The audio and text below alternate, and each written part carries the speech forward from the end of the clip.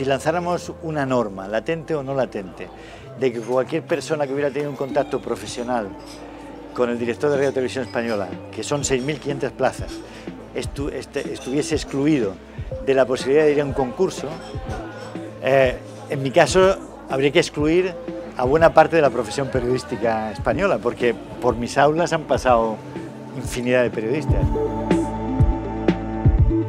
Yo creo que son injustas, porque mira, sospechar, sospechar se puede sospechar de todo, hasta de lo insospechable, y crear sospechas es fácil. Hay una frase de Roger Foucault que a mí me gusta mucho, y es que la verdad nunca alcanzará el daño que puede hacer la apariencia de verdad. Cuando lanzamos una apariencia de verdad, que es muy fácil eh, lanzarla, creamos un mal y una inestabilidad y una desconfianza que la verdad no acaba luego de, taparla. Y a mí me, preocupa mucho ese déficit de, confianza y de legitimación de, la vida pública que se está minando continuamente a base de apariencias de verdad. Lo que defiendo es que se ha hecho de un modo transparente, de un modo abierto y, que no ha intervenido para nada.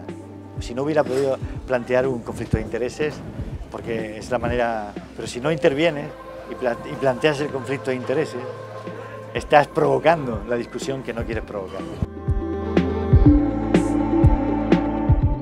Hay un debate abierto, de, no, mío, ¿eh?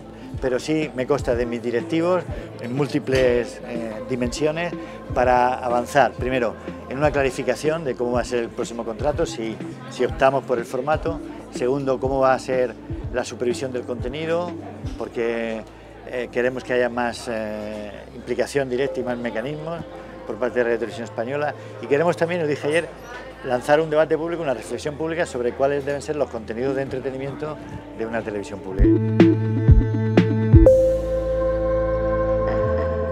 Yo hablo con todos los grupos políticos, ¿eh? y de verdad, y, entonces hay grupos políticos más corteses que otros en el trato.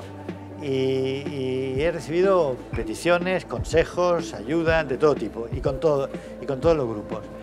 Que el que un presidente reciba presiones no digo de los grupos, sino también de intereses privados o de intereses mercantiles o de personas concretas, es natural, es razonable.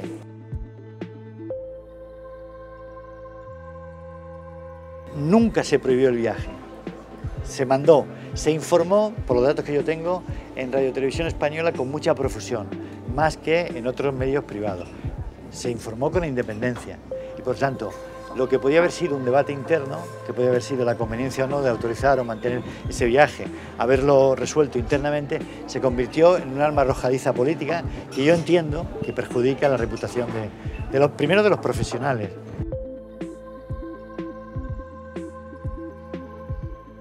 No, no, ha ido transparentemente, Buena Fuente y otros muchos. ¿eh?